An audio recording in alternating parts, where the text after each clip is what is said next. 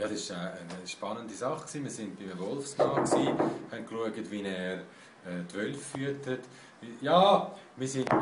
Ja! Wir haben geschaut, wie er die Wölfe füttert. Polizei, hier raus! Raus! Raus, Mann, Sauer! Nein! Jawohl, alle, arretieren! Polizei, raus!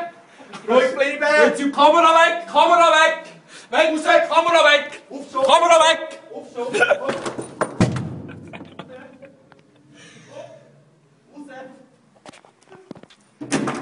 Geht weg! Abstellen jetzt. Abstellen! Niemand, niemand weg! Gehen Sie bitte weg! Ich kann auch nichts dafür. Es ist einfach extrem so zum Arbeiten. Ich meine, mit die ganze Zeit so Zeug. Wir haben auch schon andere Einsätze von der Polizei. Die kommen einfach rein.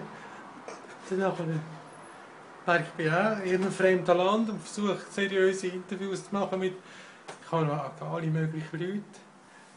Habe ich jetzt auch gehabt. Nein, mach fertig.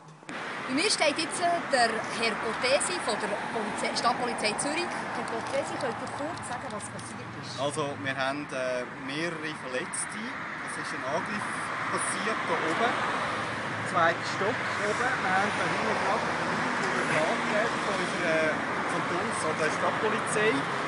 Ähm, Kann man denn sagen, ja, es ist?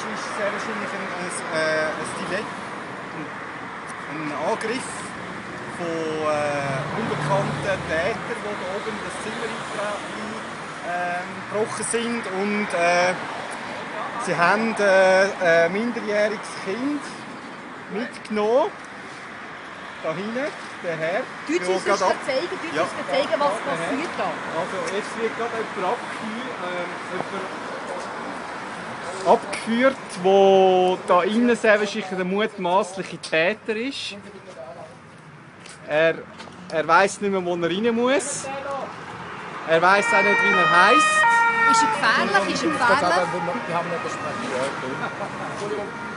Man kann zum jetzigen Zeitpunkt noch nicht genau sagen, was sich hat abgespielt hat. Ich kann aber hier sagen, an der, am Ecke Bramstrasse,